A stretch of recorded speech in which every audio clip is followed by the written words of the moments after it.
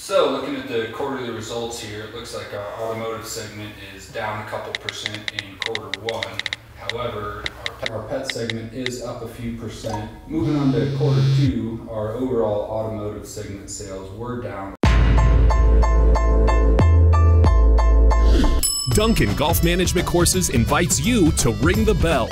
Ring the bell to let others know it's time to play. Reserve your round today at DuncanGolfReno.com.